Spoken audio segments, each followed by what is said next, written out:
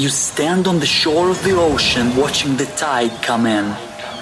You sense the call of the sea beckoning to take you further. You step forward little by little, not knowing what to expect, but expecting more. You keep going as the ocean calls, calls you to enter in to deeper waters.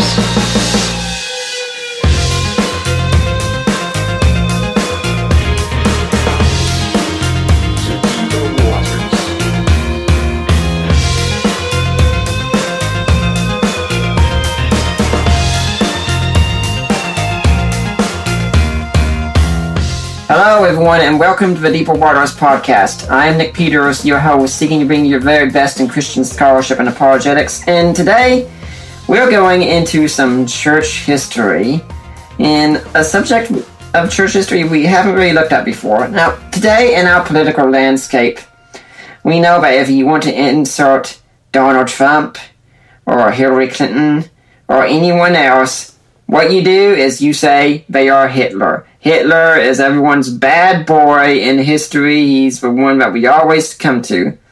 Well, if you're looking at church history, usually if any group wants to pr- present a problem in church history, they go to the bad boy of church history, and that is Constantine. Everything has gone wrong with Constantine. Or has it? Maybe it hasn't gone wrong. And my guest, in fact, is here to talk with us about that. His name is Peter Leithart. Who is he? He is the president of the Theophilus Institute, a study center and leadership training institute in Birmingham, Alabama. He's an ordained minister. He serves as teacher at Trinity Presbyterian Church in Birmingham. He is the author of several books, including Defending Constantine and most recently, The End of Protestantism. He and his wife Noel have 10 children and 9 grandchildren. And today we're going to be talking about his book, Defending Constantine. Have we got him wrong in church history? So, uh, Dr. Leithart, welcome to the Deeper Waters podcast. Thanks very much. Great to be here. Now, if my audience hasn't heard or you, doesn't know who you are, tell us a bit about how you got to be doing what you're doing. Well, I, uh, I, I, I, taught for many years at a at a Christian college, uh, New St. Andrews College in Moscow, Idaho. Mm-hmm. Uh, and uh, have recently moved to Birmingham, Alabama, as you said, to start the Theophilus Institute. And um, Theophilus is uh, intended to be an institute to support the Reformation and renewal of the church, and particularly in the areas of Bible, liturgy, and culture. And so I've been interested for a long time in the intersection of Christianity and politics. And uh, that's the subject of the Constantine book. I got, I got into it a little bit. Um, a number of years ago when I wrote a little book called Against Christianity, and it was challenging certain understandings, privatized understandings of Christian faith. And um, the last part of the book was a um, was a chapter on Constantine. It was a more theoretical defense of Constantine than a historical one. But the the larger book, uh, Defending Constantine, was a historical uh, support for the the more theological defense that I gave in against Christianity. Mm-hmm. Now, when we're talking about Constantine, we can't just like, jump straight to Constantine as if where Jesus comes, he does his ministry, he dies and rises again, and then lo and behold, here's Constantine who shows up on the scene. H- how did we get to Constantine to begin with? Yeah, well, I mean, there's a longer and a shorter way to tell that story. Of course, um, uh, the the um, the basic situation for the early church from the time of the apostles on was uh, that they were uh, their their legal legal standing was at least ambiguous for much of the first three centuries of the church of, church, of the church's history. Uh, that it wasn't a period of constant persecution. That's uh, some popular ideas or some uh, the, you have the popular idea that uh, Christians were always under threat and the Roman emperors were always persecuting Christians which is not the case. They were sporadic, uh, sometimes localized. A fair bit of the persecution that took place in the early centuries was not directed from Rome, but would be more or less spontaneous mob action, like you see in the Book of Acts with uh, Stephen, or they it would be directed by uh, provincial, regional uh, governors, officials of the Roman Empire, and not directed from Rome. Uh, but that the ambiguity of the legal status was itself kind of a threat. You, you, know, you think about the situation in certain countries today where Christians exist uh, and they operate fairly freely, but they never know when there's going to be a crackdown, and they never know when the uh, the government's going to get alarmed and try to shut down the churches. And that was the that was the unsettled situation of the early church for most of the first three centuries.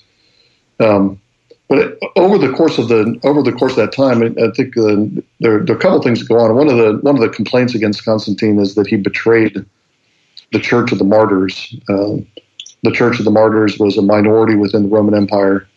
They stood in opposition to the Roman Empire, and often did so at the at their cost of their lives. And so, um, the argument is that Constantine, by uh, Christianizing or beginning the process of Christianizing the empire, betrayed the the, uh, the suffering of the martyrs. But I, I, think that there's much more continuity between uh, the martyrs and the martyr church and Constantine.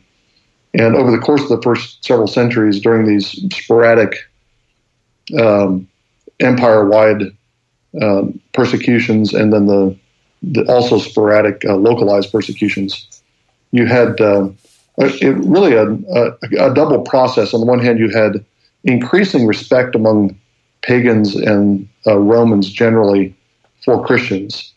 Um, it was it was apparent uh, by the by the time you get to the early fourth century when Constantine is emperor. It's apparent that um, the uh, the Christians are peaceable. They're not uh, they're not trying to overthrow the Roman Empire. They're not a threat to the Roman Empire, and yet they're being uh, uh, on occasion at least hounded and and put into coliseums and crucified and um, uh, slaughtered in various ways. So um, there's a there's on the one hand there's a growing respect for the uh, for Christians among the populace uh, po- population of the Roman Empire, and a growing church. Uh, by the time that Constantine came on the came on the scene, the estimates are pretty hard to come by, but the the consensus seems to be that somewhere in the vicinity of 10% of the population of the Roman Empire was Christian. So, um, so there's a there's that process. There's also the the kind of reverse trend that it's becoming in, in, it becoming increasingly clear that the persecutions are not working, and I think there are things inherent in the in the uh, nature of Christian faith that makes the you know trying to persecute the church out of existence is never going to work. It's uh, a faith that's uh, confesses uh, the uh, that, the, that a crucified man was the Son of God, uh, that he rose from the dead. Um, the martyrs believed that they were sharing in the sufferings of Christ when they went to their own crosses or were set into the Colosseum to fight fight gladiators or whatever. So they uh, they don't they aren't. Um, this is this is not a movement that you can suppress by threat by threats.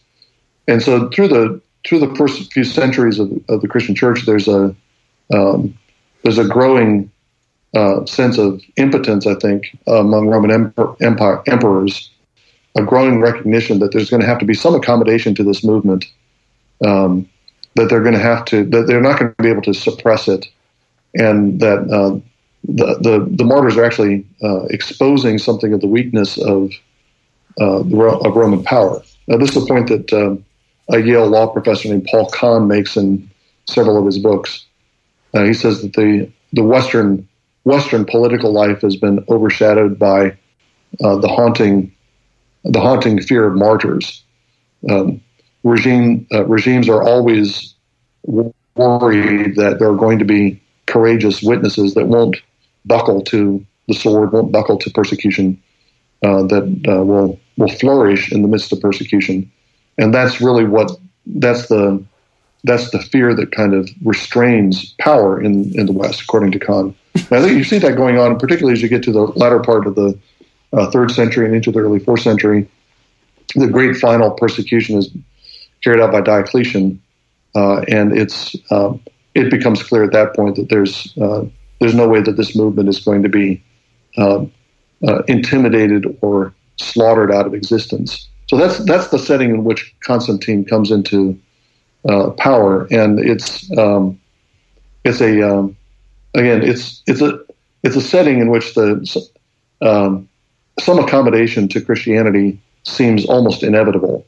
Uh, it, you know, it, uh, given the dynamics I've just described, it's not that um, you have this persecuting empire and then there's this uh, uh, sudden, immediate reversal. That's true in some respects, but in another sense, you have uh, processes going on in the first few centuries that are kind of leading to leading Rome to um, look for ways of accommodating to the Christian Church.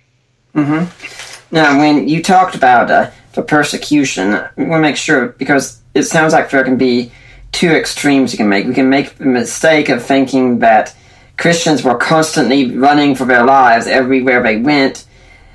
Or you, we could, on the other hand, make the mistake of, say, Candida Moss with her book The Myth of Persecution and saying, no, all these persecution accounts were just overblown. It wasn't really like that. So you're saying we have to find a happy medium, right? Right. Yeah. Neither. I don't think either of those positions are are correct. And I think that you know the uh, it's it's it's one thing to say um, as uh, I understand Moss does. I haven't read her book, but I, as I understand the argument from from uh, things I've read about it, and then if you just line up the number of people that are killed and the the years during which the, the Christian church is officially illegal uh, throughout the empire, that's a fraction of the time period leading up to the time of Constantine. Mm. That's true. That's true. But even if that's the case, as I said, there are, that it's the instability of the situation, the ambiguity of the legal situation that that's as threatening and as dangerous as anything. Um, again, you have situations similar to that in the in the. I, I think of China where uh, you have uh, crackdowns and relaxations and crackdowns and relaxations that happened in the Soviet Union during the uh, in Russia during the Soviet years. So, um, and what that that leaves Christians uh, with a, a, sense of never knowing where they stand with regard to the government. Um, and it does. I think there's a it. Uh, it is a situation. Uh, it's not a situation of constant persecution, but it's a situation of the constant potential for persecution. Mm, where uh, I do know a little bit about what happened with Diocletian, but just in case our audience doesn't know, could you describe the persecution under Diocletian? Yeah, well, it's it starts with um, with a uh, a situ- uh, with an incident. This I, I start my book at, with this um, with this incident where Diocletian is uh, offering a sacrifice um, and I'm forgetting the exact circumstances of that at the moment. I think that it has to do. It's like most uh, uh, emperors, he would be offering sacrifice before he does some kind of official um, uh, takes does some kind of official action. I mean, the uh, sacrifice was a way of gaining the favor of the gods for whatever you were about to do. It's uh, it's integral to the Roman political system. Um, so he begins by he's offering a sacrifice and um, the uh, uh, the, uh, the they're specialists in reading entrails, and they try to read the entrails. And there's um, there's there are um, you know, the, the sacrifice is not accepted. There are bad omens in the sacrifice, and that leads uh, Diocletian to begin. It, it consults it consults with a seer or prophet who tells him that there are unbelievers of some sort within the within the uh, um, uh, in the company of people that are there at the sacrifice. People don't believe in the Roman gods, and so they're actually and they're Christians. They actually finds that there are Christians in the um, emperor's entourage, and that's what begins the persecution because he, it starts out with this failed sacrifice, and he's looking for um, looking for the culprits that uh, that prevented the sacrifice from being accepted. Um, and the, it's a, it is a it is a um, uh, an empire wide uh, empire wide um, um, persecution for a while. And by the by the time Diocletian Diocletian was a kind of unique emperor. He he retires from being emperor at some point and splits up the empire into a tetrarchy, tetrarchy so that there are several. Uh, there are two emperors in the east, two emperors in the west, and they're dividing up power. And at different times in the aftermath of Diocletian's reign, you have a um, you have di- a different uh, legal situation for Christians in the East and the West, and you also have different levels of enforcement. The fact that the fact that a Roman emperor has decreed something doesn't necessarily mean that it's going to be enforced fully. Um, I mean, even even with our uh, instant modes of communication today, you still have bureaucrats that, well, we've seen a little bit of this in the, in the early days of the Trump administration. Bureaucrats who don't like the policies that have been adopted, and so they either drag their feet or they refuse to enforce them. And uh, the, I mean, when you have a situation like you did in ancient Rome, where the communications was much more, um, much slower, um, and you had the same kind of situation. So the fact that an emperor would decree something would not necessarily mean that it would get would get enforced. And so there's a even even under Diocletian's uh, under Diocletian's decree, there's a the persecutions were not uh, enforced in the same way in all parts of the em- emperor empire. Um, mm-hmm. uh, Constantine's father, for example, was one of the tetrarchs, and uh, for reasons that are still a little bit obscure, uh, he's reluctant to enforce the decrees and uh, doesn't he doesn't bear down on Christians in the same way that some others do later on, uh, one of the Eastern emperors, Galerius, um, decides to uh, issues a decree near, nearing death. He issues a decree of toleration uh, in the eastern part of the empire. Um, so um, this is, but this is the last of the this is the last of the empire-wide persecutions in the Roman world, and it's uh, comes just before Constantine takes power as first of all as one of the tetrarchs, and then eventually as the sole emperor of Rome. Mm-hmm. And when you're talking about it, there are two things that were coming to my mind. First off, how Tertullian talked about the persecution his time and how it couldn't be stopped because he said the blood of the martyrs is the seed of a church. And then about uh, Larry Hurtado's recent book, Destroyer of the Gods, which we interviewed him on this show. If listeners want to go back and find that, about mm. how the uh, the persecution the Christians underwent often couldn't be official persecution, but ostracism and shaming hmm. in society because they were outcast. Right. Yeah. So there's a um, well on the first point. I think Tertullian uh, is uh, exactly right, and I think that's it's not. Um, uh, I think that's a biblical insight. That seems to be something that New Testament um, indicates. Uh, I've been, I've been, working for the last few years on a commentary on Revelation, and uh, uh, martyrdom is a central theme of the whole book, and mm-hmm. and particularly the vindication of martyrs.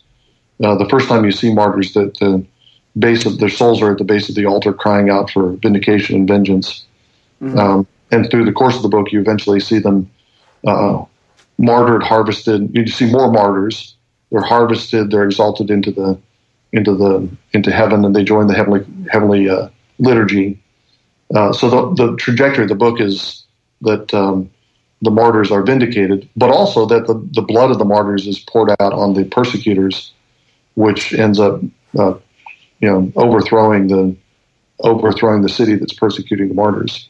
Mm-hmm. So I think that process that Tertullian is describing is exactly right. Uh, God vindicates his his faithful witnesses, and um, persecutors end up um, end up in bad in bad shape. Uh, mm-hmm. Lactantius, one of the uh, uh a Latin uh, father, church father of uh, of Constantine's time, one, uh, actually a tutor in Constantine's court at one point, uh, wrote a book called "On the Deaths of the Persecutors," and he uh, gives a lengthy description of all the gruesome deaths that the persecuting emperors went through. Mm-hmm. Uh, and he's making that very that very point that God vindicates his vindicates the martyrs. Yeah, the, the point that you mentioned from Hurtado that's interesting. That yeah, the the persecution is not always taking the form of uh, you know, uh, uh, the church becoming strictly illegal, nor necessarily taking the form of Christians being arrested. You had you have uh, especially early on you have circulating rumors the, the kind of the standard uh, the standard charges or standard slanders against the church are that they're uh, guilty of uh, atheism because they don't worship the Roman gods they don't offer sacrifice to the Roman gods they're guilty of incest because they uh, are uh, speak to one another as brother and sister, and they greet one another with a holy kiss.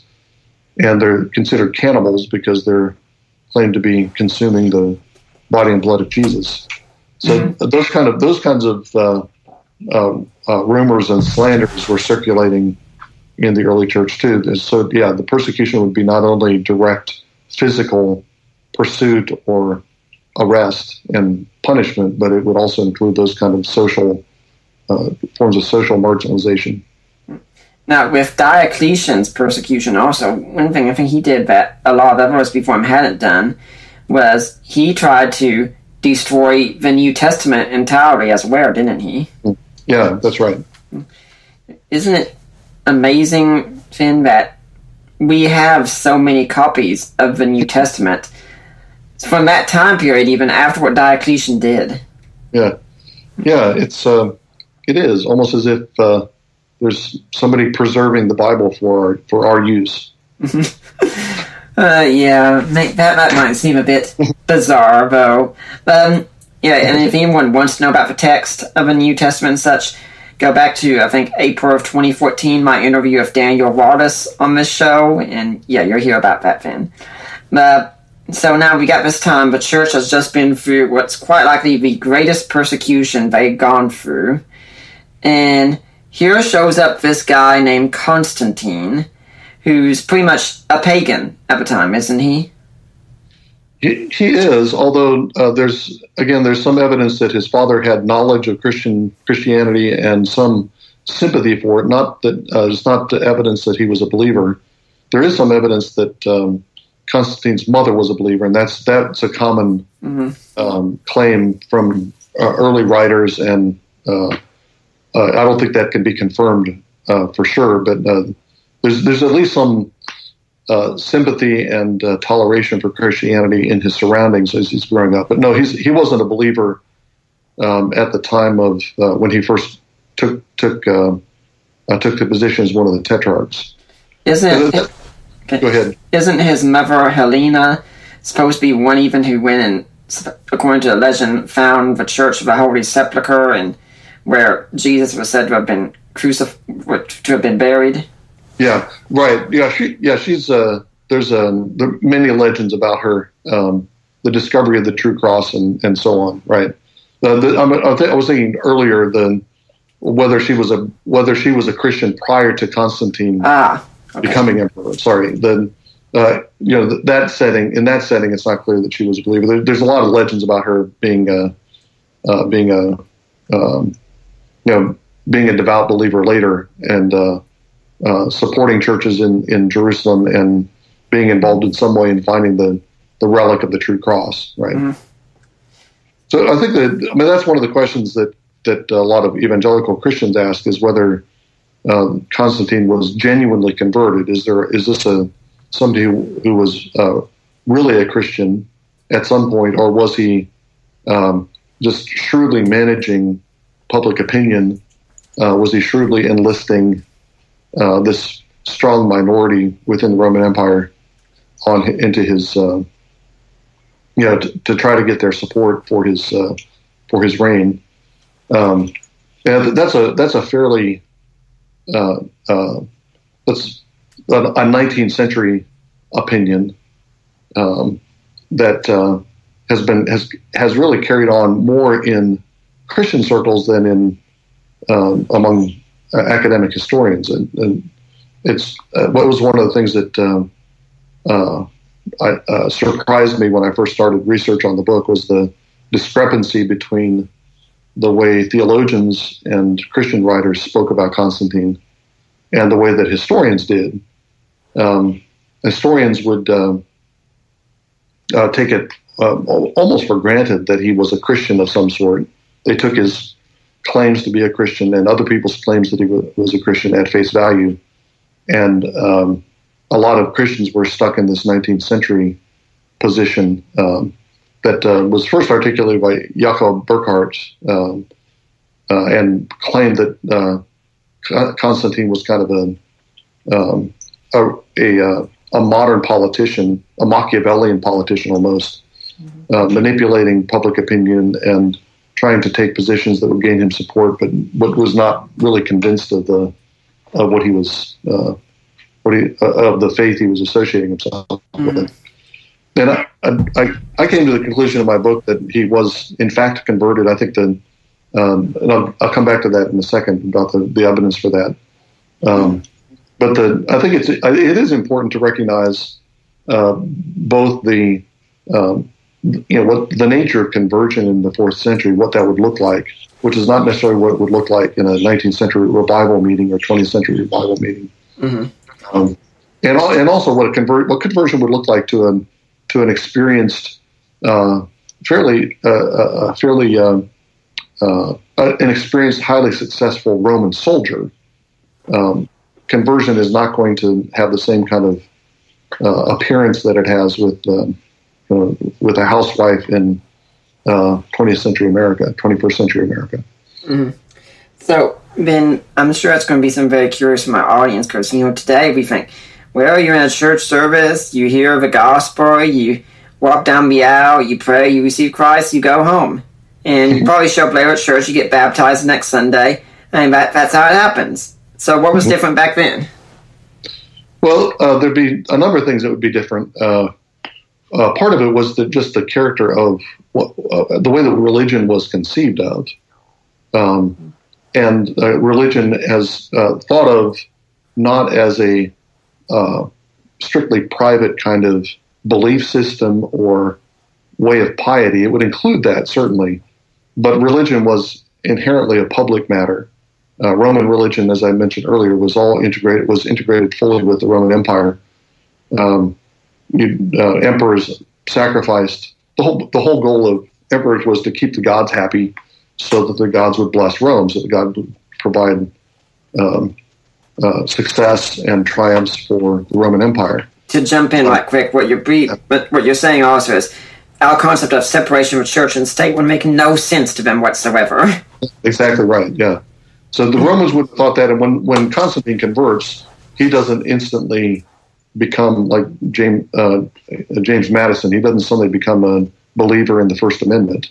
Mm-hmm. Uh, he still thinks of religion in the same way that the Romans did, um, and a lot of the public statements he makes about the Christian religion have that kind of political dimension to them. He talks about uh, trying to, well, for example, when he calls the uh, when he's when he assembles the the uh, uh Council of Nicaea in order to deal with the Her- Arian uh, controversy, um, he does it because he is afraid that the divisions in the church are going to displease God and if God is displeased, then he won't continue to bless the Roman Empire.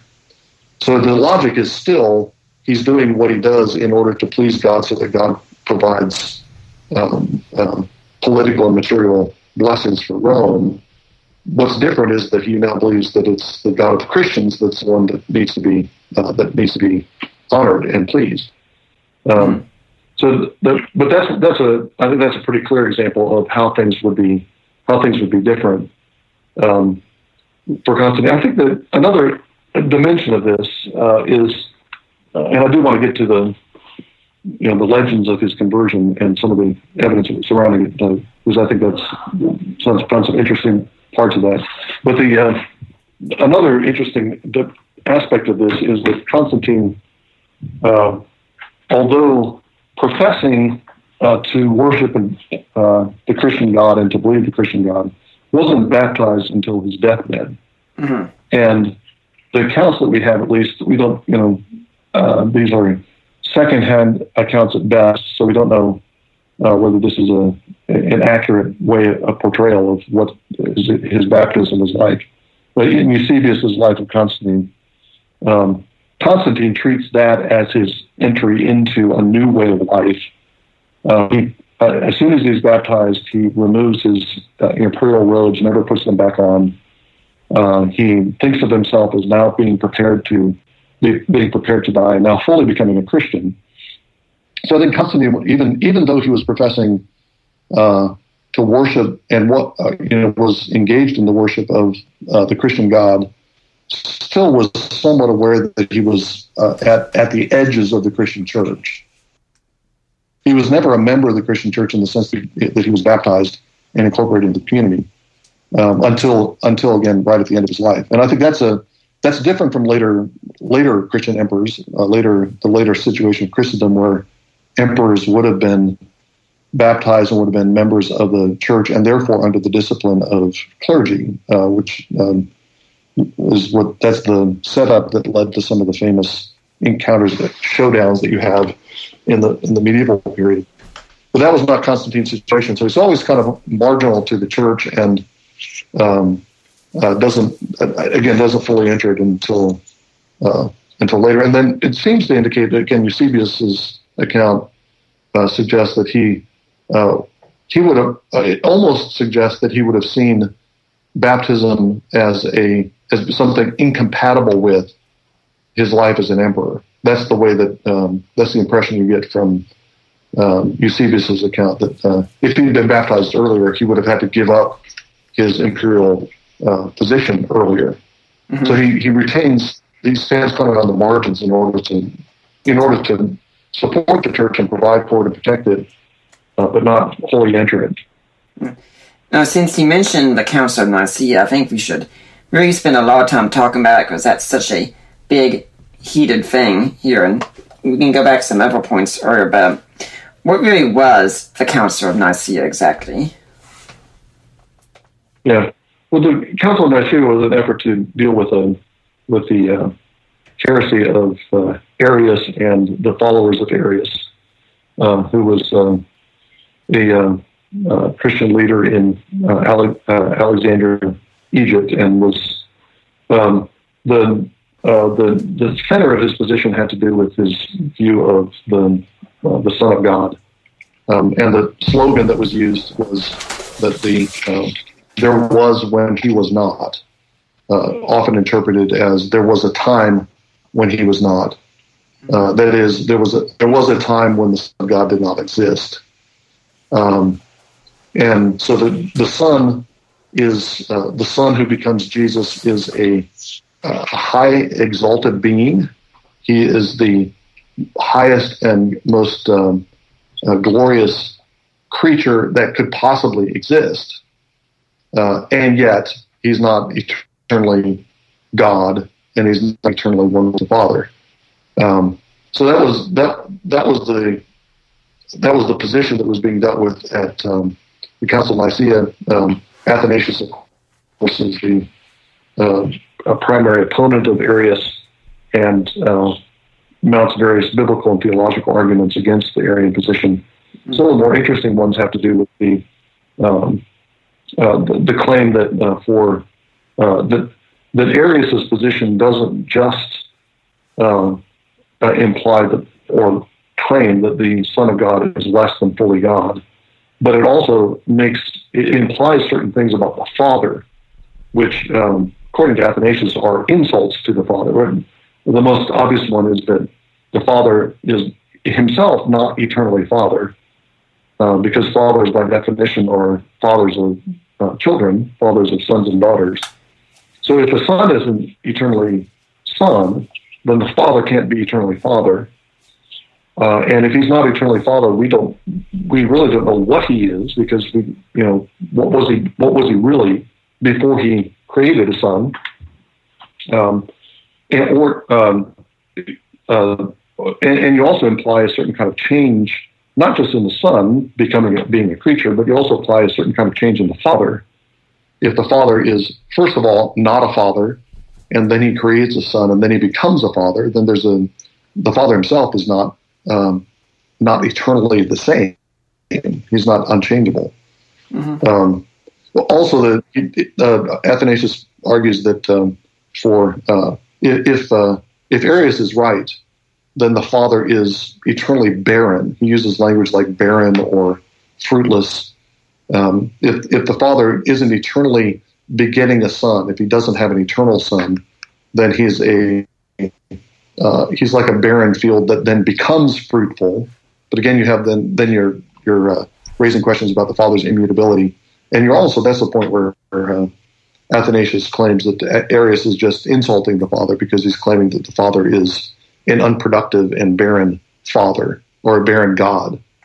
Um, so that's uh, Athanasius really, I think, really penetratingly grasps what's at stake, and that what's at stake is certainly the uh, the eternal Son of God um, uh, becoming flesh for our sake and going to the cross for our sake. The whole gospel story depends on God being the one that do, that's doing that for us. But then you also think very penetratingly shows that the the uh, the denials about the Son also uh, uh, have hold implications for the for the Father as well. So mm-hmm. that's the issue that the Council of Nicaea dealt, tries to deal with. Now there are some myths if you go online about the Council of Nicaea. So I can deal with those very quickly. What about the claim that the canon of the New Testament was decided at the Council of Nicaea? Yeah, uh, I mean, the, I have, I have, I think, um, fairly uh, um, uh, non-mainstream views of the the uh, formulation of the canon, the development of the canon. I mean, the, the, earliest the earliest listing of all the books that we have in the New Testament comes from um, an Easter letter of Athanasius. So there is a mm.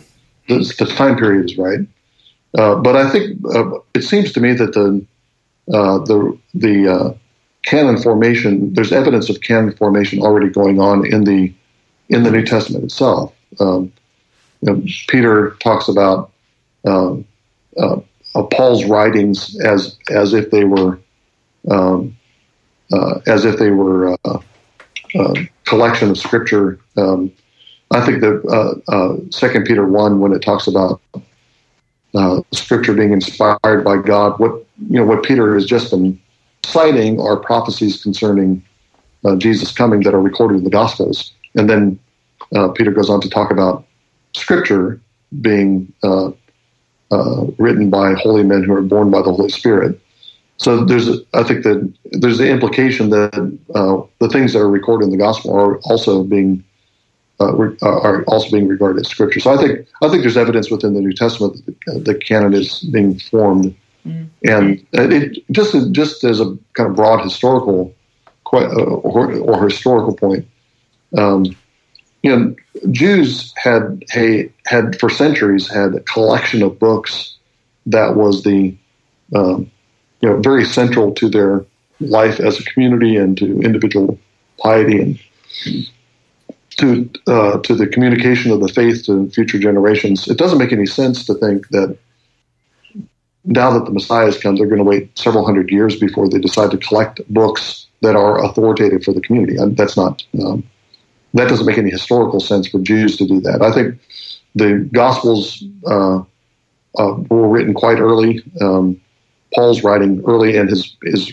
uh, book, his uh, letters are being circulated through the churches and being read in the churches. And I think there's evidence that they're being collected and treated as um, as uh, scripture. Now, there are some people who think that at the Council of Nicaea, the council reached its decision because Constantine came in and ordered them to go this way, that he controlled how the meeting went. Yeah. Um, yeah, that's a common that's a common myth that he's taking over the church. I think that uh, it's certainly not the case. The accounts that we have uh, uh, of uh, Constantine's involvement, he's he's not um, uh, he didn't he didn't control the the outcome. He didn't control the deliberations. He facilitated the gathering of uh, bishops and priests for the for the for the for the council. Uh, he provided protection if you know that was necessary. Provided funding. Um, so he he lent the support of the Roman Empire to it. Empire to it, uh, and he addressed the council. Um, again, from the, the evidence that we have, he did a, did speak in the council, um, and one would expect that um, you know, just the emperor being the emperor would have a certain kind of weight in that kind of setting. Um, but I think he was he was quite aware that he was not that it was not his his job to uh, decide this theological point, um, and he let, I think he facilitated it and left it to the to the uh, clergy to uh, make that determination. I mean, that's that's not um, this. Uh, when did this kind of circles back to the, uh, some of the evidence that we have for his conversion.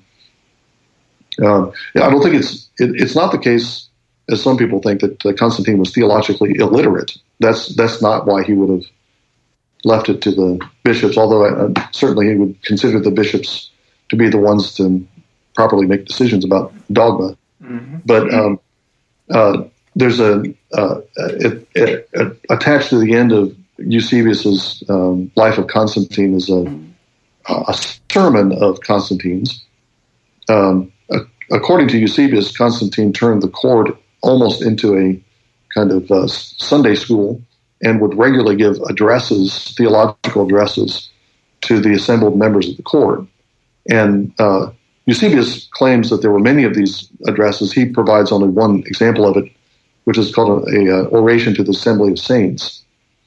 And in that oration, it, it's clear that uh, uh, Constantine knows what the circumstances are, or, or, knows what the issues are in the Arian debate. Uh, he talks about the distinction between natural generation and eternal uh, generation, divine generation, which is a, a distinction that's formulated in, in, the, in, the, debate concerning Arius. Um, and he affirms the eternal generation of the Son, uh, and also indicates that he knows something about the gospel story. He talks a little bit about some types of Old Testament uh, types of Christ in the Old Testament. So um, uh, uh, there's been some debate among scholars about whether that is a, a genuine document from Constantine. Uh, the consensus uh, of those that I read was that it was Constantine's something that Constantine delivered and that he wrote. Um, no doubt he would have had assistance from um, you know the priests who were around him people who were uh, knew the Bible better and knew the issues in theology. But it, it, it, it's an indication that he did have some facility with the issues at the Council of Nicaea. So the fact that he the fact that he didn't control the council um, is, doesn't doesn't arrive uh, from doesn't arise from the fact that he's incapable of following the, the arguments. He knew what the arguments were. I think it has more to do with the sense of recognizing who's whose role it is to decide such things. Now, if we go back in time to when the Da Vinci Code came out, many of us can remember that we were told by the great historian Teabing that the deity of Christ was invented at the Council of Nicaea, and not only was it invented, it was decided by a rather close vote. um, yeah. yeah, I know uh, how close the vote is, but I'd still like to hear you you answer about all of this. yeah, this is uh, uh, this is not this is not a reliable historian, and I, I imagine that uh, many of your listeners are aware of that. Um, yeah, uh, uh that's a uh, a theory that is is not a it's not original with Dan Brown. I, I, doubt that much is original with Dan Brown, but um, it's a you know, but it's also not a true theory. Um, you know, the the um, it's hard to know where to start to respond to that. But I, I guess I'd go back again to question about the New Testament itself. You, know, you can go to passages of the New Testament that have historically been uh, cited as proofs of the, the eternal divinity of Christ, which I think are valid proofs. Uh, they're the proofs that are used by Athena- Athanasius and others during the Arian controversy. They have a long history of being texts that uh, are cited in in, uh, in proof of the deity of Christ. Mm-hmm. But I think if, if you uh, if you step back and think about um, the New Testament, um, the New Testament more generally, and, and not just look for individual texts. Um, for example, um, the, the, the titles, names, and designations that are given to Jesus, the very fact that he's called Kurios, uh, Lord Jesus, um, you put that language back into the first century um, uh, Jewish, largely Jewish context of the of the uh, of the New Testament, and um, that doesn't just mean master uh, that has connotations of, of, of this. Kurios is the Greek word that's used to translate the name of. Uh, Kurios um, uh, uses a, translate the name of God in the Septuagint of the Greek Old Testament. Uh, it's a divine title. Um, passages that are um, so that every time that Jesus is called Lord, there's this overtone that Jesus is uh, is um, uh, divine. He's he's called the Savior. Well, any Jew who's read Isaiah knows that there's only one Savior, and that's uh, Yahweh, God of Israel. So the very fact that Jesus is called Savior, which he is regularly in the New Testament uh, is is again an indication that he's he's being um, he's being honored as a divine figure. So uh, the, the, idea that that's that that is something that came very late um, that that doesn't hold at all. Uh, and you can go further into the uh, the earliest of the church fathers, and you can find you can find plenty of evidence of the same of the same sort. But uh, mm-hmm. I think it's it's there in the New Testament. I don't think it's only there in a few isolated texts. I think it's all over the New Testament. And what about the question of a vote of Nicaea? Was it really that close? yeah. Um, no, it wasn't. yeah. I think I've heard it was like a 358 to 2 or so. Yeah. Um, yeah, I don't remember the exact. I don't remember the exact numbers. I, I don't remember the exact numbers of uh, the members who were present at the Nicene Council, but uh, it was not a close vote. Mm. Um, I mean, the, the, a, lot of the, a lot of the debate over Arianism actually takes place in the aftermath of the Council of Nicaea. Mm-hmm. Uh, we tend to think that that resolves the issue, um, and it does in a sense because the, the language, the technical terminology that's adopted at Nicaea stands and is uh, affirmed by the Council of Constantinople some uh, 60 years later, 55 years later. But um, the uh, uh, a lot of the a lot of the debate is actually taking place after. Uh, a lot of the, the, the, things that Athanasius writes are written after the Council of Nicaea, mm-hmm. Um, and they're dealing with um, um, some people challenging the the, the uh, the decision of the council, certainly, but also just trying to figure out what the decision of the council entails.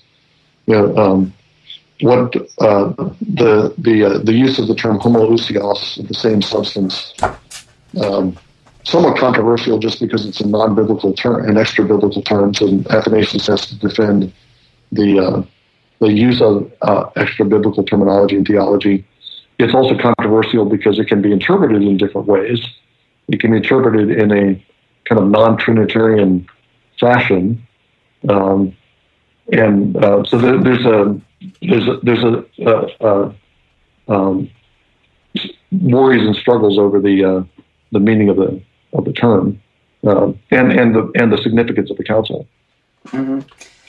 Now, when we go back earlier still in church history, now there are some things, there are some even Christian writers sometimes get wrong, and that's that Constantine did not make Christianity the official religion of the Roman Empire. Right? Uh, are you asking me to comment on that on that statement? Yeah.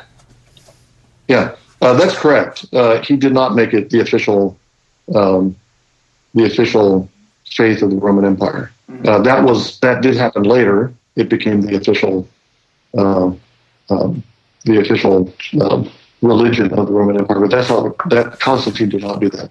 What Constantine did was to legalize uh, Christianity. After Constantine, Christianity was not under threat in the in the Roman Empire again, mm-hmm. as it had been uh, briefly under Julian, the, the apostate Emperor Julian, but um, uh, uh, uh for the most part, um, it was the, the persecution and legal ambiguity was at, an end.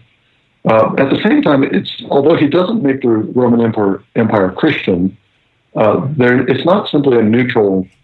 Uh, it doesn't adopt a position of neutrality either. Um, there's um, uh, uh, evidence that he uh, Eusebius claims that he prohibited sacrifice, pagan sacrifice. Um, that's again a controversial statement, and some historians have claimed that uh, Constantine did not issue any such decree that prohibited sacrifice. Uh, I think that the bulk of the evidence seems to be in the direction of saying that he did, that uh, Eusebius was correct about that. That doesn't mean that it ceased necessarily. As I was saying before, the, the fact that an emperor says something doesn't necessarily mean it's going to be enforced or enforced consistently. But um, at least that's adopting a position, uh, placing the Roman Empire uh, against uh, pagan worship. There were a few pagan temples that were shut down during Constantine's uh, period as emperor, but uh, not all of them. Mm-hmm. Um, he, he provided support, financial support, and other kind of support for churches. He helped build churches. Um, so there's a there's a uh, it's it's not neutrality t- between paganism and Christianity. He definitely sets up the game to Christianity's favor, and uh, I think the, the, the aim of that is to uh, use kind of a long term, uh, you know, if you want to use contemporary buzzword, kind of a long term missional strategy. Um, he he doesn't want to. Um, he didn't want to. Uh, uh, he knew that suppressing paganism outright would be disruptive. Probably didn't want to do that anyway. Uh, but um, also was, uh, um, uh, you know, kind of adopted a gradualist approach that favored Christianity, that gave Christianity a prominence and a visibility that it hadn't had. Mm-hmm. Uh, and um, that made it uh, socially, politically uh, safe, and sometimes even advantageous, advantageous to become a Christian. And over time, uh, it's natural that the, the, the, Roman Empire would become more Christian, more people would convert out of mixed motives, in certainly in some cases. But um, the, the situation is not again. Um, uh, he doesn't establish Christianity as the the faith of the Roman Empire, but he does set things up in uh, to favor Christianity as a as a preferred religion in the Roman Empire. Well, before I get to the next question, since it could be a lengthy answer, I'd like to remind everyone that you're listening to the Deeper Waters podcast. I am Nick Peters, your host. Today with us, we've got Peter Leithart. He's talking about his book, Defending Constantine. But if you're here with us next week, we've talked a little about, about uh, the Arian controversy and such. We're going to be talking about the Trinity a lot more next week. My guest is going to be Dr. Matthew Bates, when he's going to be talking about his new book, The Birth of the Trinity. It's going to be a very interesting discussion, so I hope you'll be here next week for that. Now let's get back to Dr. Leithart and his talk on defending Constantine. Now, one other charge that's brought against Constantine often is that he was really a worshipper of the Roman god Sol Invictus. I mean, what do we make of this claim? Yeah, and um, uh, uh there's some complications there. I would say, if you wanted a simple answer, I would say no. but I think there are some there are there are some complications in a, in a couple of directions. Um, and this goes back to the question of Constantine's conversion. Um, the uh, um, uh, the, there are a couple of different accounts that are sometimes conflated um, of Constantine's conversion, and I, I think that um, I was helped by an article by Peter Weiss, a German scholar, who argues that these are two separate incidents uh, that are separated by a period of several years, and that, that cumulatively they lead Constantine to declare his allegiance to the Christian God.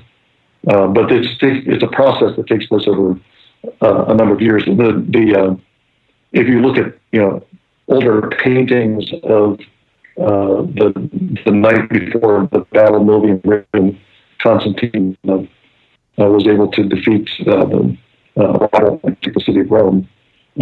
you have Constantine in his tent, and there's suddenly the sky is split open, uh, and angels are coming down out of the sky, uh, carrying cross, carrying a cross, and one of them with a banner that says, "In this sign, conquer."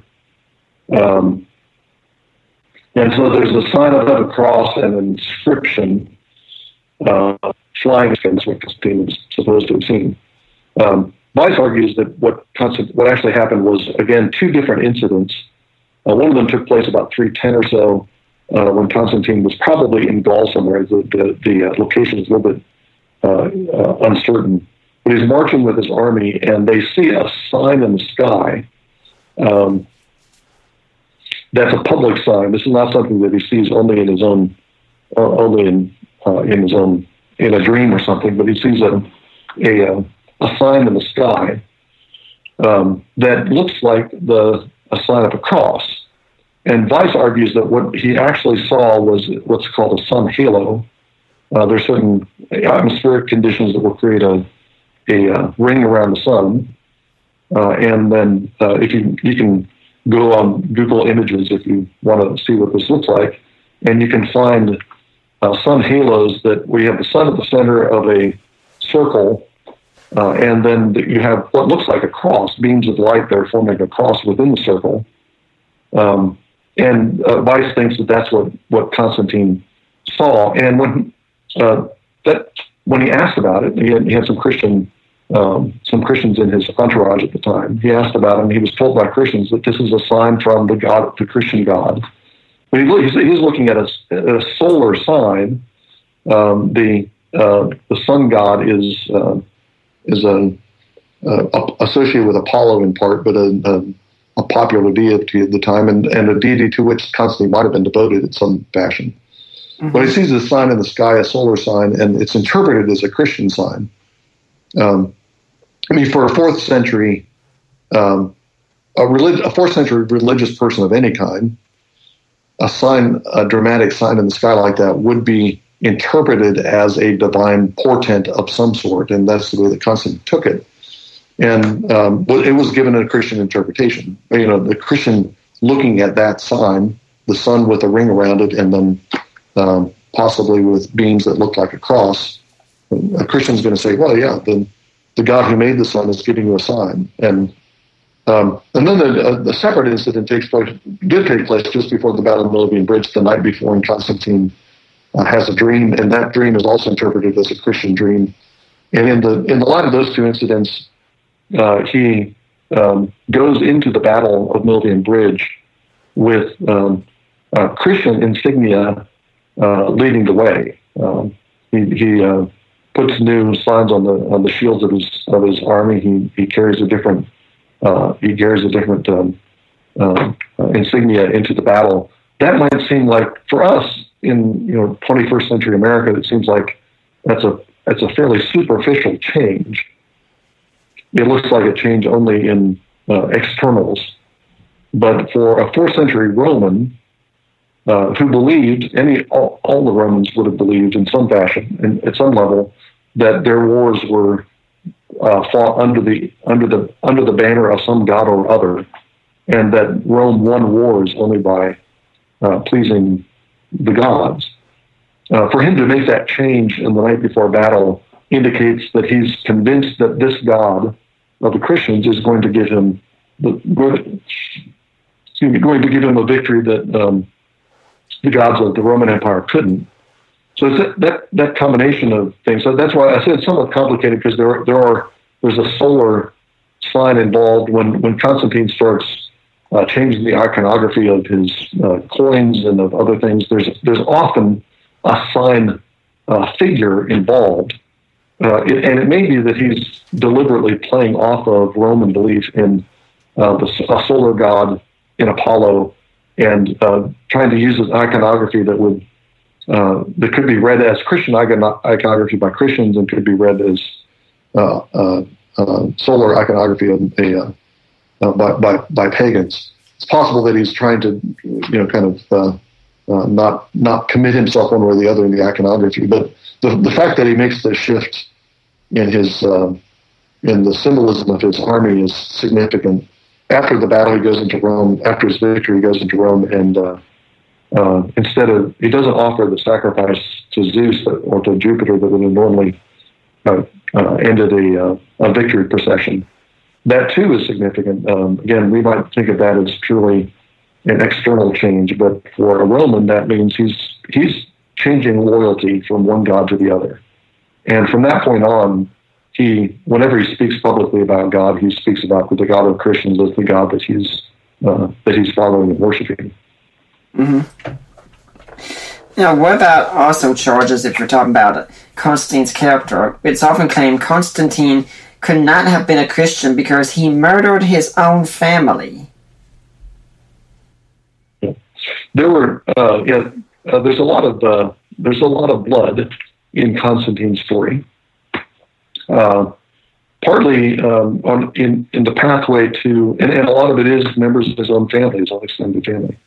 Um, the, the the pathway to his position as emperor involved uh, fighting with a number of um, relatives, either uh, mostly relatives by marriage, um, and oh, you know defeating them. Uh, there are uh, charges that he um, that he uh, had one of his uh, relatives killed um, after battle. There's uh, the the um, um, probably the most scandalous, famous one is one that was. Um, there's there's some incident. There's the, the details are very difficult to uh, to uh, sort through because there are different accounts of it from different uh, from different time periods and different sources. Some of the sources are uh, later sources that are deliberately uh, trying to to paint Constantine as, in its very worst colors. Uh, so there's there's there's stories about um, Constantine's wife Fausta, who is um, found in some kind of compromising position and is um, it's some accounts suggest that she was drowned in the baths. Um, his son, uh, uh, his his son, um, whose name is escaping me right now. I'm sorry, it'll come back to me. Um, at the same time, is exiled and eventually executed. And it, uh, one possibility is that uh, Constantine discovered the two of them in uh, that is it's an adopted son. Crispus is the name. Crispus is the name of the adopted son or or stepson. Um, uh, it's, it's Crispus and Fausta, and that he found them in some kind of compromising position, uh, compromising relationship, and had um, Fausta killed and sent um, Crispus off to exile, and then eventually had him killed. So um, that's the during his during his reign after he defeated his his various uh, his various um, opponents rivals. Um, that's the most scandalous incident that takes place within, within his family. Well, there's, there's no getting around the fact that he um, killed a lot of members of his extended family. Um, many of these were in the midst of wars and uh, struggles that are part of part of his pathway to power. He he came to came to power as one of the, one of the uh, set of imperial rulers uh, uh, in the Tetrarchy, and uh, eventually um, uh, defeated all the all the other members of the Tetrarchy and took uh, sole power for the first time since there's a period of time when between Diocletian and Constantine's sole reign in 313 or 314, um, there's a period of time when they had this uh, a, number of different emperors, and and um, Constantine did uh, have uh, members of his of his extended family, uh, people related to him by marriage, were killed in the in the in those. Um, uh, in the process of him coming to power, I, I, think to say that those are murders is, uh, at least in most cases, is um, probably um, probably not direct, not precisely accurate, but he certainly was. He, he didn't kill them directly, but he was certainly instrumental in killing them, and some of them were um, killed in suspicious circumstances. The most uh, scandalous thing that happened during the course of his course of his reign was uh, involved uh, his son Crispus um, and his wife Fausta. His son Crispus was a son by an earlier marriage, uh, and he had married Fausta as part of a political arrangement. Um, but um, the, there's a, a, variety of different accounts of this, and some of them come from sources that are attempting to paint Constantine in the very worst light. So it's hard to tell exactly what happened. It is it's not uh, it's not possible to make this a happy story though. Something something awful happened. Um, Fausta, his wife, was found uh, dead, apparently drowned in in the baths. Uh, his son Crispus was sent off into exile and eventually uh, was killed in exile. Uh, and one possibility, although it's not, this is not um, certain that this is what happened. One possibility is that Constantine discovered uh, his uh, second wife Fausta and his son Crispus in a compromising relationship, and that he took action in order to to stop that. And that on that on that account, it's not. Uh, um, it, it's uh, it's more like Constantine carrying out a civil or a, a, criminal penalty against members of his family. But the, the fact that uh, Fausta is said to have died in the baths looks like you know, he's just trying to get rid of her. Um, and Crispus again is exiled and then killed. So uh, there's just no way around the fact that he um, uh, that there, there's a there's a tremendous scandal here, and Constantine is implicated in the deaths of his wife and his son. Um, so uh, that um, so uh, the the title of my book is called "Defending Constantine," but I don't defend everything Constantine did, mm-hmm. and uh, I don't defend everything Constantine was. I think there, he certainly was a man with flaws, and he certainly did uh, evil things. Um, that doesn't. I don't think that means that he wasn't uh, genuinely devoted to and loyal to the Christian God, and uh, or that he wasn't truly a Christian, any more than the fact that David, uh, David's uh, adultery and murder uh, disqualified him from being king. Yeah. Um, I think we have to admit. I mean, they admit that they were these are wrongs, or at least um, from our distance, they certainly look like things that he uh, that he sins that he committed.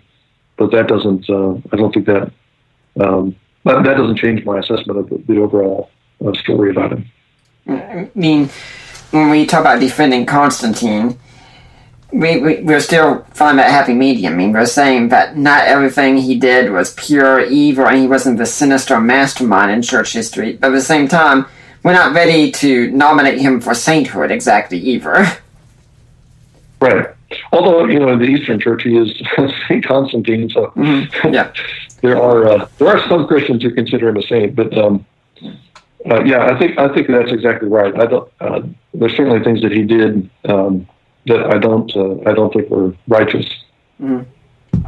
I think when we talk about Constantine, what's usually thought of as most problematic, and this gets us more into what's brought us to our own times, is there you begin the first case of Christianity mixing with the government, and where obviously that can never end well.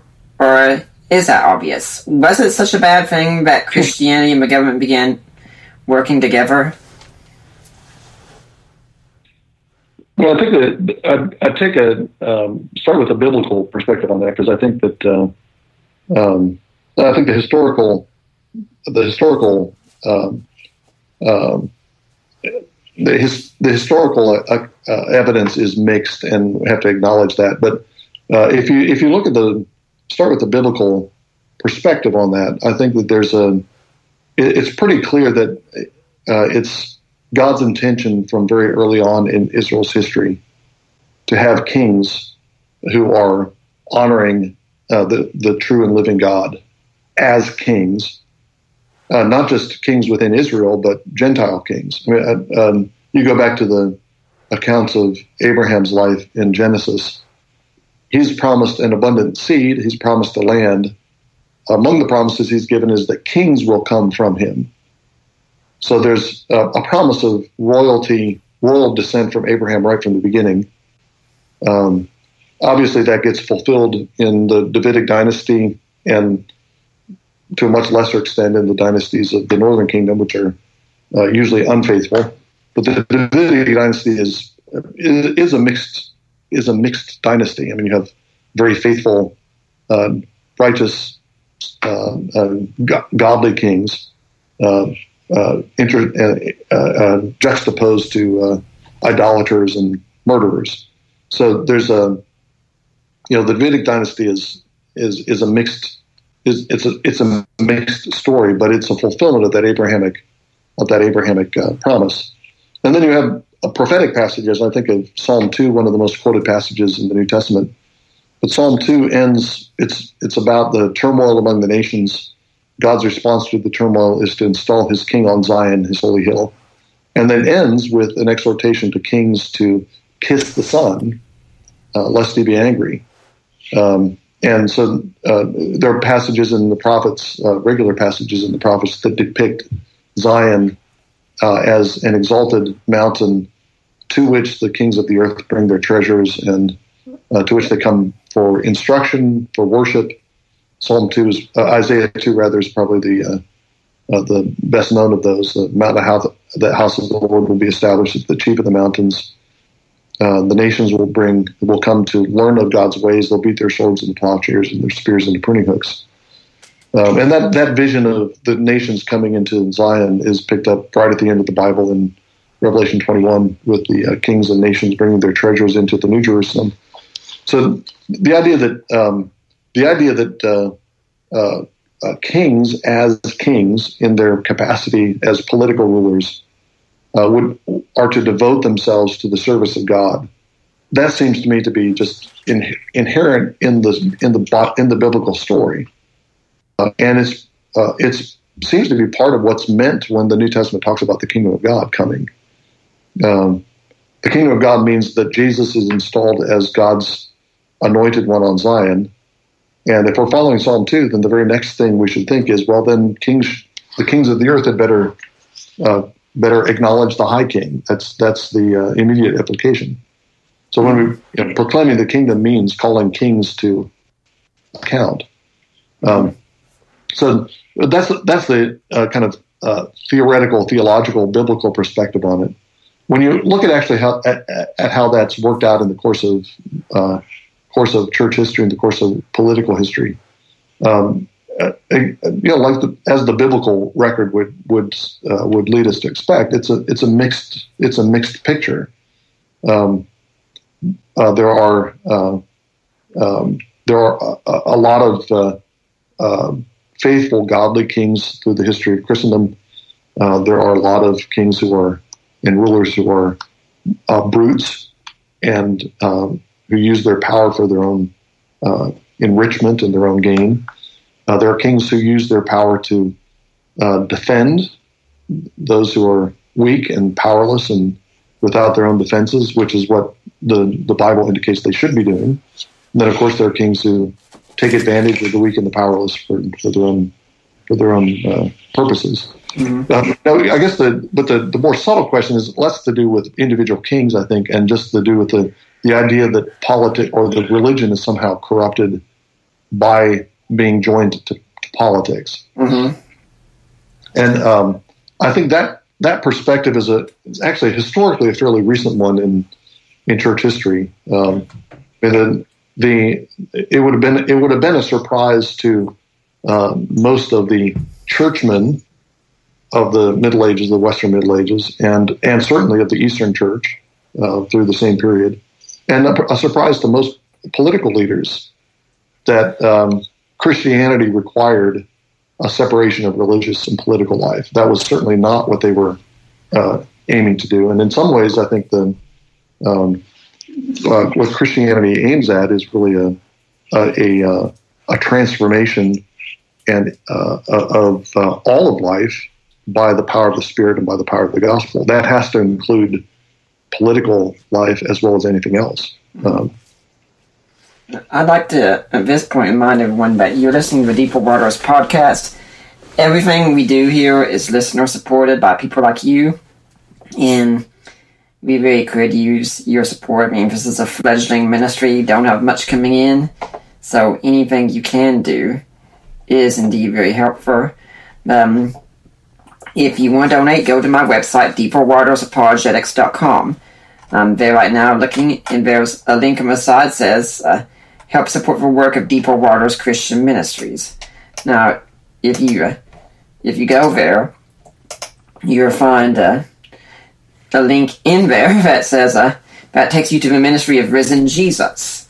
Have you gone the right place still? Yes, you are. Risen Jesus is a ministry of Mike Licona and his wife Debbie. And if you listen to the show, you know those are my in-laws.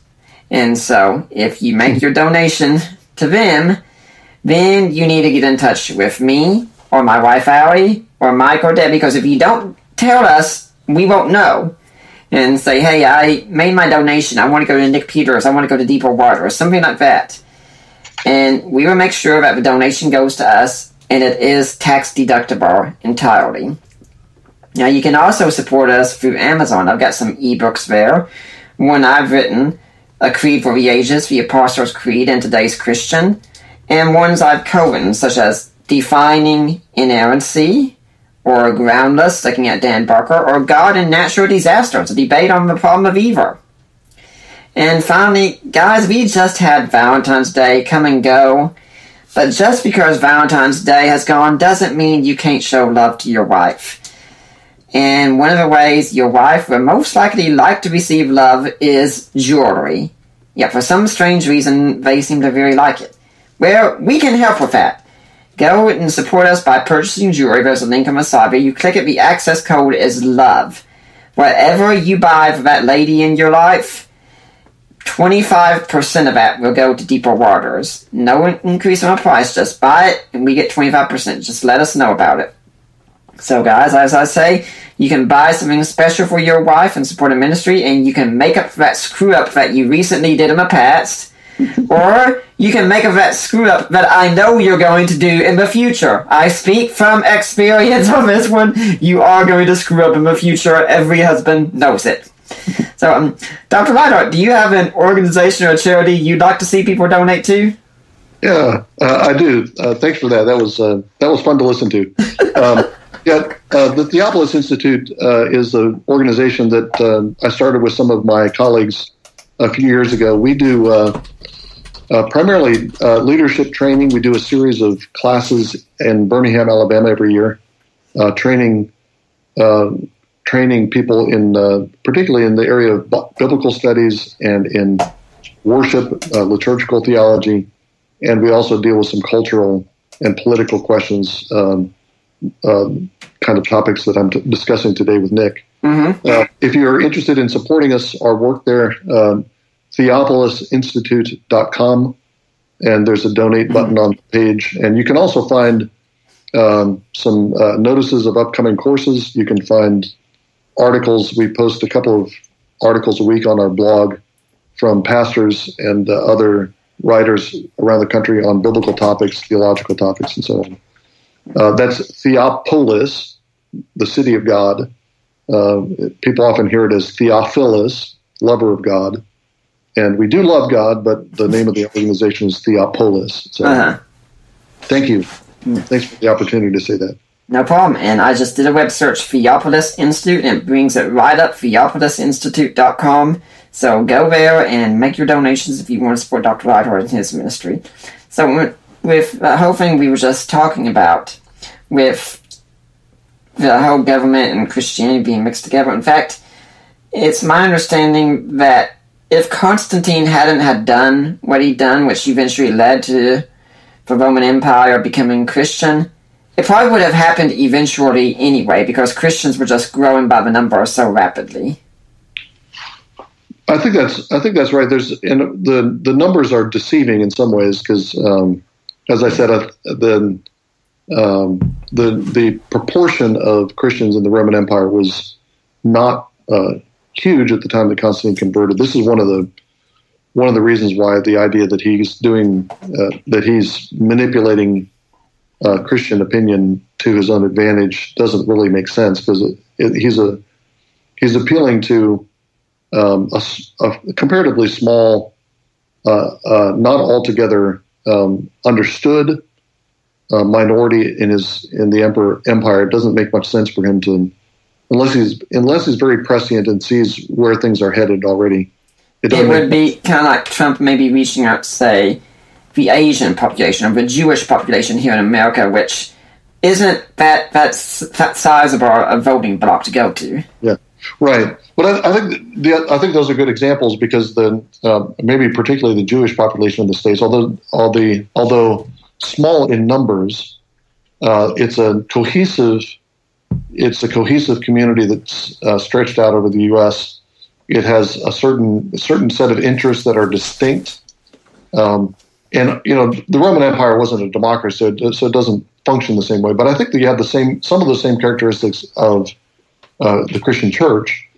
Um, by the time Constantine takes takes power, the, the church is already is a is a um, important presence in a lot of parts of the Roman Empire and it's it is a it is a um, an empire wide network of communities. Um, by again by the by the by the early fourth century, it's it's throughout uh, it's throughout the empire. and in in some cases, you have um, uh, churches that are taking up significant um, uh, what, what, we what we might think of as, as social services. Um, this this happens maybe to a greater extent after the uh, some of the uh, structures of the empire begin to de- decay in the uh, about a century and a half after Constantine. But uh, already in already in his time, you have bishops setting up hospitals, for example. Hospitals are a Christian invention. Um, so you have uh, you have um, uh, uh, you know uh, institutions that are designed to, to care for the sick. Uh, you have uh, various forms of poverty relief um, that the church is carrying out.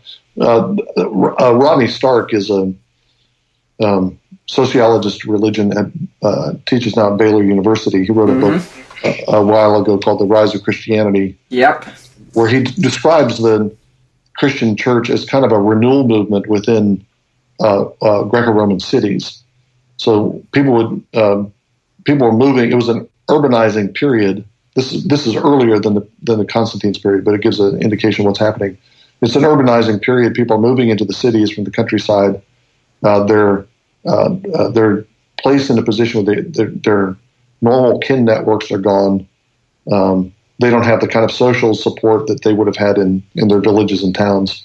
And the church provides those kind of social, that kind of social capital that they wouldn't have had otherwise. Mm-hmm. Um, and so it's, it's an attractive place for people to end up because they take care of each other. They, they, um, they love each other. They, they say, we know the way to God and we can show you the way to God. That's a, that's a, uh, that's a um, uh, that's a that's an attractive sales pitch. So you're right. The the although the church was uh, you know in terms of sheer numbers is not huge by the early fourth century, it's uh, it already is having a significant impact in a lot of uh, cities around the Roman Empire. It has this empire wide presence, and uh, I think you're right that it still had uh, it was already the the process of Christianizing was happening in um, smaller on a smaller scale, um, apart from the emperor converting.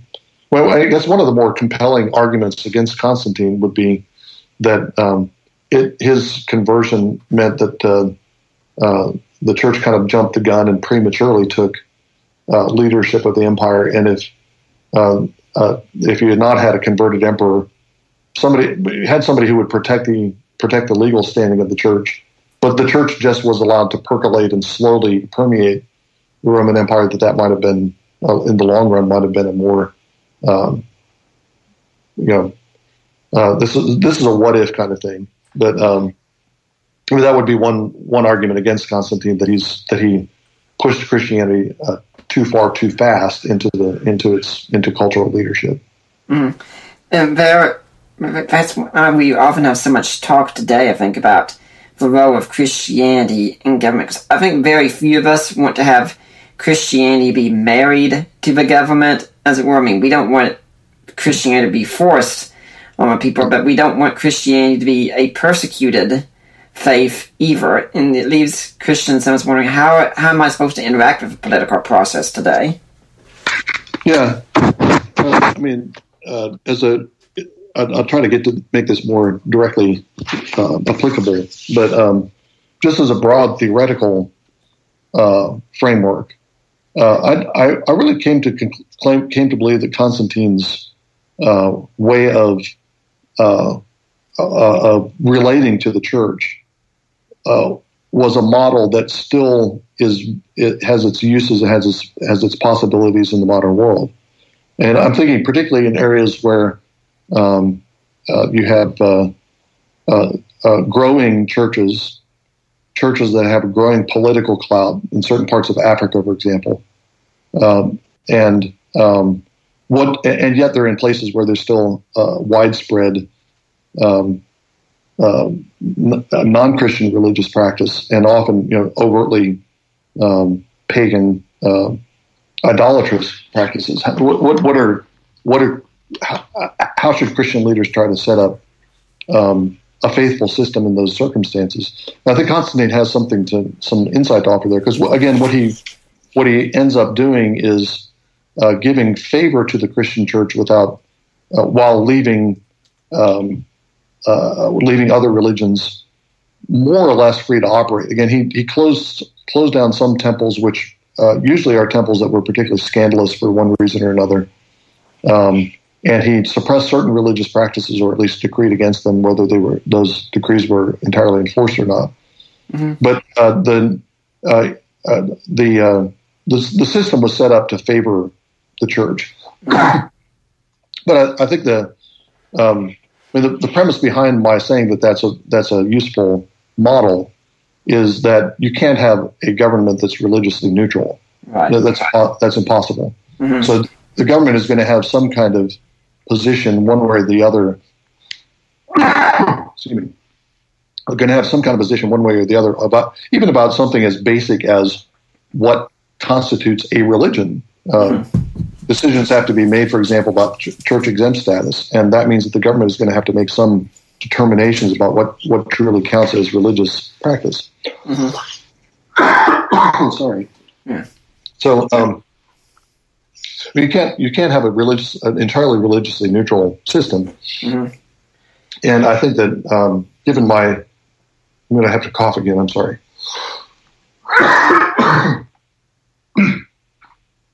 I'm hoping you can edit that. Yes, everything can be edited. Um, give me a second. I'll get some water.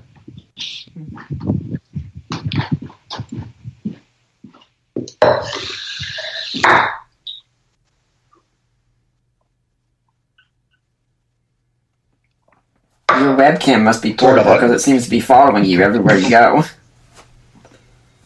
What's that? Your webcam must be portable. It seems to be following you everywhere you go. I just I, I carried my carried my uh, Laptop.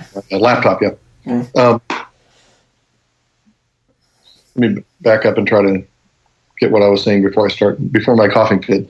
About how how the government can't be Yeah. neutral. Right. Government religiously neutral, and given what I was uh, saying, the kind of trajectory of biblical of the biblical story, uh, it seems uh, it seems like the, the Bible, uh, uh, or I should say, God, intends for uh, rulers and political systems to honor Him. Um, I mean, it seems like that's that almost should go without saying how they honor him is that's the that's the difficult question. But that they honor him is um, seems to be uh, pretty obvious for Christians.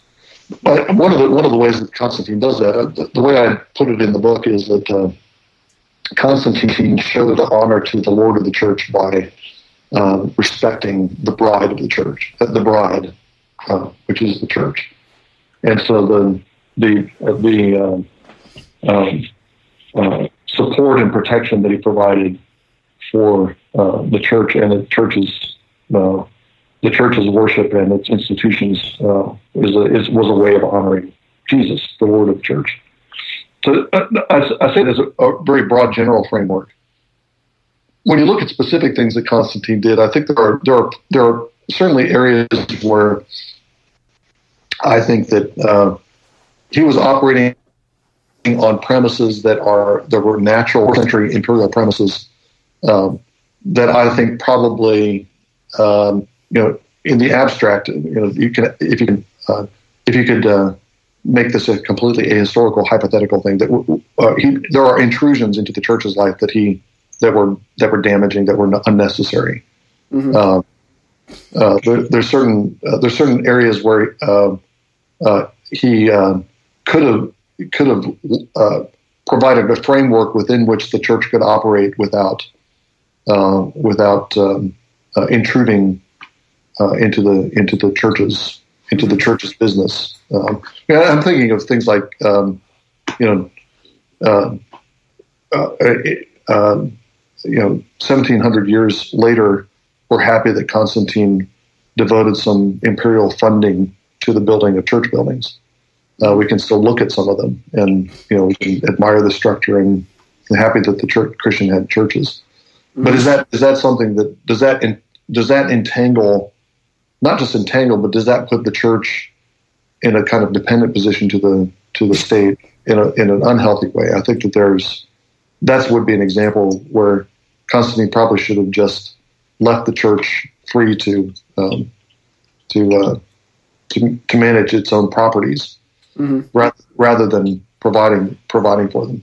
So, and, and I think, but again, he's operating on a pretty standard fourth century premises because the the uh, Roman emperors would have sponsored the creation, the, the building of uh, temples to Roman gods, um, and for the same reason that Constantine wants to build uh, house of worship for, for for Christians because he wants to wants to be blessed by the the God that he's honoring. Mm-hmm. Now you said that we can't really have a religiously neutral state. I'm sure some of my atheist friends listening to the show would say, "Nope, you have a secular state that uh, it, that doesn't favor any one religion, and therefore the state is going to be religiously neutral."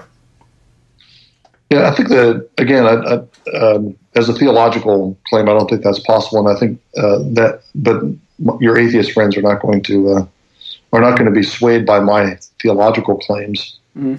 Um, I think that the maybe the clearest evidence uh, is to uh, run through some of the recent, um, you know, some of the recent uh, uh, hot points in American culture wars. Um, can can the state be religiously neutral about something like uh, um, uh, uh, about uh, abortion rights? Um, well, the the Supreme Court decision that uh, uh, gave women that gave women the right to abort um, explicitly stated that it's it's a, as much as anything it's a it's a establishment of religion argument in Roe v. Wade. Um, it's an argument that uh, to th- that the only the only consistent opposition to abortion comes from religious sources, and to maintain those as the basis for an anti-abortion law is uh, amounts to an establishment of a particular religious position. Mm-hmm. Um, but then they they free uh, they they make abortion legal. That's not a neutral position. That's just a non you know that's not neutral certainly for Christians. That's taking a, an anti-Christian position on abortion. Um, you know, you, you, could say that um, you know the, the Supreme Court of Court could have adopted a certain kind of neutrality by not deciding the issue at all, and by leaving it to the states to decide. Uh, that would be a more uh, procedural kind of neutrality, and that would that might have been the better better option uh, as a you know, as we look at the, the battles that have taken place over the last 40 years um, on the abortion issue. Um, but that's not the position that they took. They, they decided that it, uh, in the in the interest of non not establishing religion, they established a uh, at least at this point they established a non Christian position concerning the the the uh, concerning abortion and the life of the fetus. Uh, if anyone's interested on abortion, we did just get done doing a month of January where we talked all about abortion with my friends Ty Binbo, Elijah Thompson, Brian Johnson, and we had Christopher Kaczor come on talk about abortion. And just go back in our archives and look at shows in January. We try to devote as much as we can to abortion. And I was thinking of another example we could use today is the case of uh, redefining marriage and homosexuality. I mean, the Babylon Bee even had a satirical article come out yesterday about a new registry made for a same-sex couples to choose what Christian florist they want to put out of business. Because we, we have had this happen recently over in Washington that a Christian florist was put out of business, or is being put out of business, because she refuses to serve a same-sex couple for a wedding ceremony. Yeah. And, you know, you're talking about how maybe the Supreme Court could have gone to the states. The states were already voting on this when the Supreme Court overruled several of the right. states. Right, exactly. Yeah, I th- and I think that, uh, I guess the, again, the, uh, thinking of your atheist friends, what the response might be, uh, I, I suspect that one of the responses would be that they're not taking any kind of religious position at all, that they're just um, basing their uh, advocacy of uh, you know the right to uh, same-sex marriage or the right to abortion on a um, on you know constitutionally guaranteed freedoms. But I think it, it, as soon as you penetrate past the the surface of that of that kind of response, then you're inevitably dealing with questions about the nature of human existence. You're talking about uh, creation, whether creation is uh, you know whether you're, you're talking about anthropology. you're talking about the nature of man and whether human beings are created male and female. Um, you're taking a position on uh, on uh, what amount to religious uh, issues. You can call them philosophical issues if you like, but they're going to be uh, they're going to be uh, um, uh, issues that Christians deal with theologically and religiously. So I, I don't think that it's a I don't think it's a fair or I don't think it's a convincing dodge. I think it is a dodge, but I think it's convincing to say that um, this is not really a religious issue. Uh, uh, that that that depends on a certain understanding of religion. It, it's not religious in the sense that it's not dependent on God or a divine revelation or um, you know a form of worship. Uh, in the sense in the sense that it involves uh, basic commitments uh, to absolute uh, principles or absolute realities. Um, in that sense, there are religious issues everywhere in, in political life. Mm-hmm. I guess you know, just to just to take a simple make it make the point simply, um, you know, um, the uh, in in fourth century Rome, and also in the United States. Think about fourth century Rome. Back to that for a second. Uh, there were people who were Roman citizens and Christians. Um, it's the same person who is in, in existing in both of those roles, um, and uh, the, uh, the just that the simple fact that you have that you have people playing those dual roles seems to me like you have an inherent overlap and intermixture of religious and political life. Um, the person who's a follower of Jesus um, is going to be a follower of Jesus when he is engaged in his actions as a Roman citizen, whatever that may be. In some cases, it might be uh, refusing to engage in certain practices of a Roman citizen. Uh, I'm not going to participate in this civic sacrifice because it, you're sacrificing to idols, and I'm not going to participate in that. Um, we just the fact that you have uh, the individuals who are both religious believers and and citizens means that you have some kind of the, the tension is right there within people. It's not a it's not a theoretical one, and it's an inescapable one unless you're going to completely uh, get rid of all religious believers, which is not going to happen, and or you you convince religious believers to kind of divide themselves down the middle so that they act like Christians in church and they act like something else outside of church. But that's not that's not any kind of um, uh, that's that's not a uh, uh, viable form of religious practice. Now there are some Christians, on the other hand, who say, you know, we talk so much about trying to change our society and reform the laws and such, and maybe this is a waste of time. Maybe we should just focus on the gospel and giving the gospel and you know, you don't want to get down on Christians and saying, "Hey, let's give the gospel." Obviously, we should be, but should we just ignore the political process altogether? Well, I, I have some sympathy with that objection, um, and in part because I think um, there is a danger, certainly a danger of Christians trying to address um, what's wrong with the world, whatever that might be. Mm-hmm. Uh, try to address that through political means.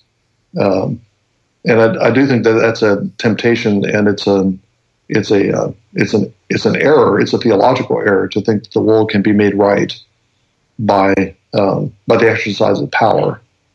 Um, it truly is the gospel that is the transforming power of God, uh, and it truly is the ministry of the church that uh, is the engine for changing the world. So I have some sympathy for that for that argument, and and particularly in the current climate uh, in the in the, the United States and uh, in the West, I guess. Um, because I do think that there's a, uh, I think we're, um, uh, uh I, am convinced that there's a we're at a, a kind of a, a, cultural watershed. We're at a civilizational watershed, and um, that it's uh, it's a moment that where the the issues go much deeper than uh, can be fixed by political means. We, we, could we could change. You know, uh, the the Supreme Court decisions that Christians don't like could be overturned tomorrow night, tomorrow, and we still would have uh, a, uh, a, a series of cultural pathologies that that haven't been addressed by that legal change. Um, so I, I, do think that the, the stress and the emphasis has to be on the church's ministry of the gospel, the church's ministry of the gospel in both word and action. Um, the uh, the uh, uh, at, at, Theopolis, one of the main things we emphasize is the centrality of Christian worship as as a as uh, the place where God uh, gives Himself to His people, uh, so as to transform us into His instruments for mission. So I think the worship, the, the doing reforming worship according to the Word of God is is a is a central uh, task at the time. That's not um, that's not addressing the political questions directly, but I think downstream it certainly does address the political questions in the same way that going back to the early church, the same way the early church became politically relevant not by striving for political relevance. They became a political power by doing churchy things, by proclaiming the gospel, serving the poor, you know, standing up for the helpless, uh, starting hospitals. Um, you know, that's the way that the church gained cultural clout by mm-hmm. doing the, the by doing the ministry of the church well. And I think that's we're in the same same kind of situation now where that has to be the emphasis. But at the same time, you're right. I don't I don't think we can ignore the political questions. I do think uh, that we jump sometimes jump too quickly to those political issues and think that we can solve things by political means. Mm-hmm. Yeah. I I liked how you talk about how we're at a watershed moment. I mean, I've even heard it that some people are thinking we could be near a practically another civil war, for instance, right now. Mm. Mm. Yeah, um, I certainly hope not. Um, um, I think there are.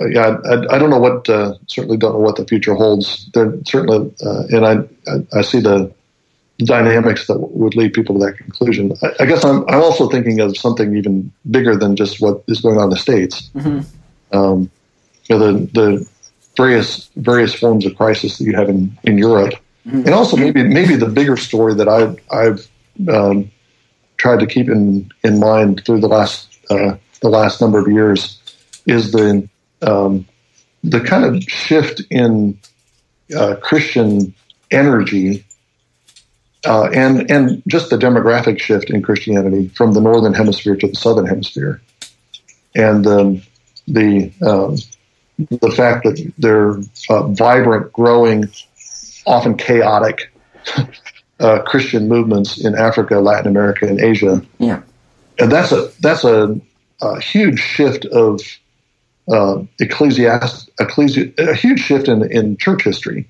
which means a huge shift in world history um, with uh, a lot of the uh, fresh energy and the, the you know the, the orthodoxy, um, the the passion for orthodoxy coming not from uh, the the west and the northern hemisphere, but from the south. You know, the, in the Anglican Communion, it's um, it's frequently the Africans who are standing up for um, uh, classic orthodoxy in the Bible, while uh, Americans and Europeans are drifting away. So that's a that's that's a huge shift. Uh, that's a that's an epical shift in in the in the structure of the church and the the uh, and uh, th- that has huge political uh, geopolitical consequences down the road. Already has had. Yeah, I'm thinking back to it. Might have been in fact a year or so ago, but some last year that my father-in-law and I were out going to an apologetics event together, and we had some time, so we stopped at a subway to get some lunch. And we were talking about all the political things going on, Ben, he said, Nick, what do you, you think has to be done to turn our country around here? And I said, I'm going to give you the exact same answer that I give every single person who asks that question.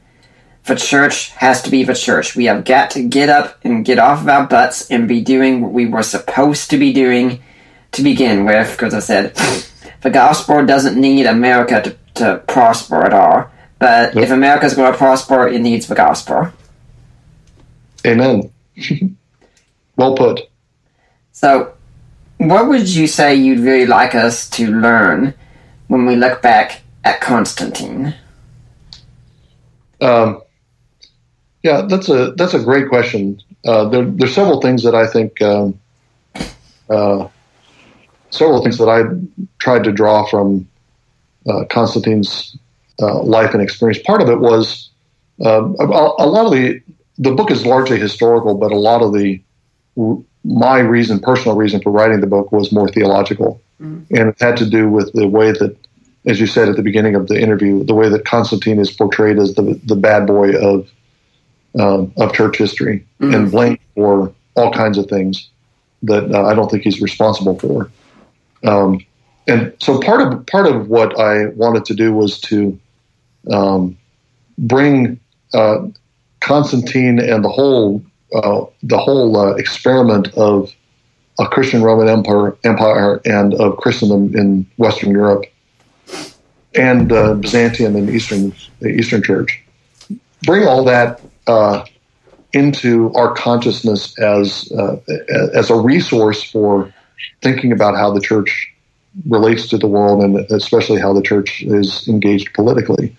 Because I think that one of the dangers of the anti-Constantine anti-Constantine mentality is that uh, a vast proportion of church history is dismissed as being corrupted by um, by this alliance between church and state.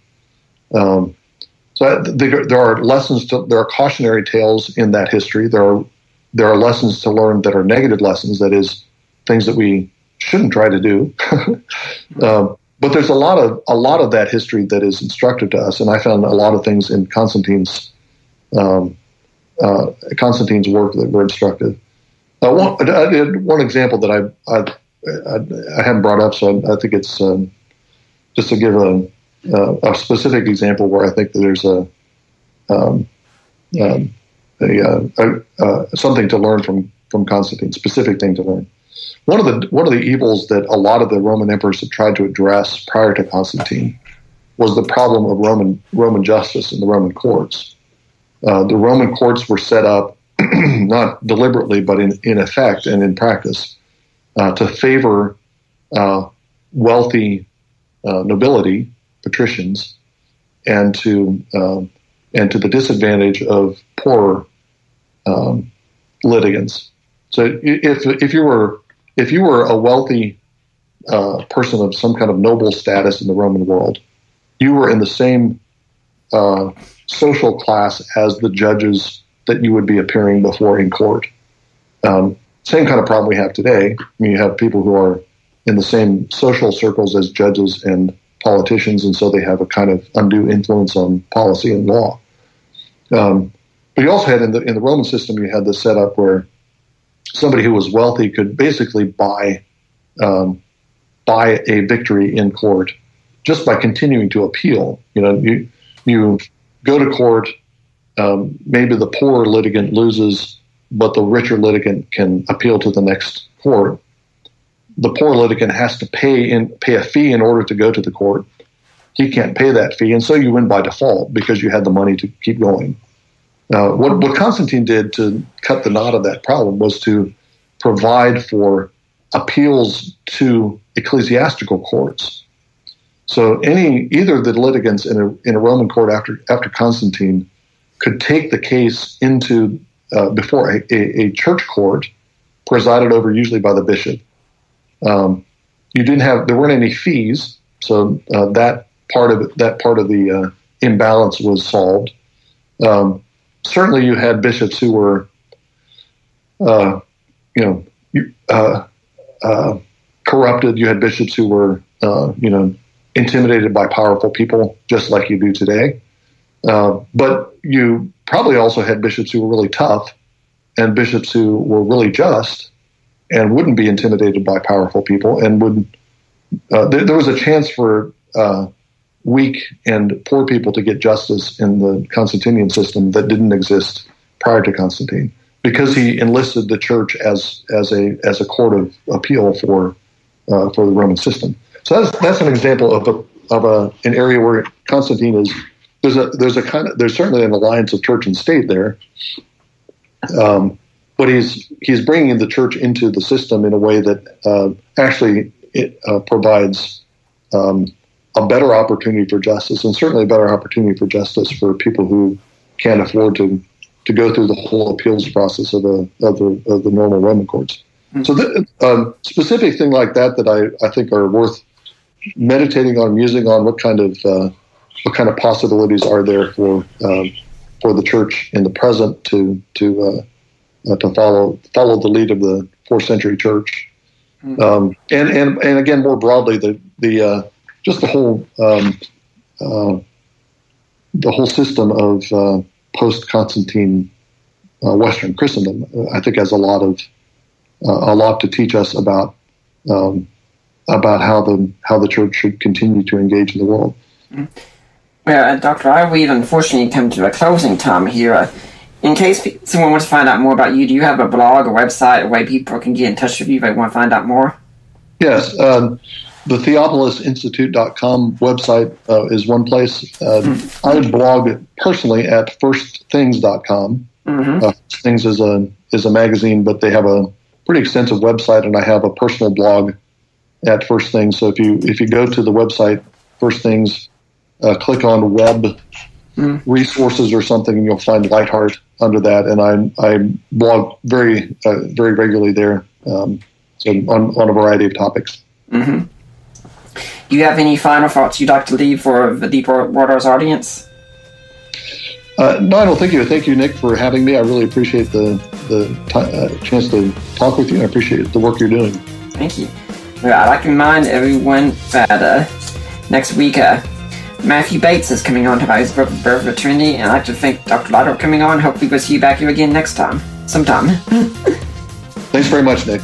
God bless you. For now, I'm Nick Peters, and I'm signing off.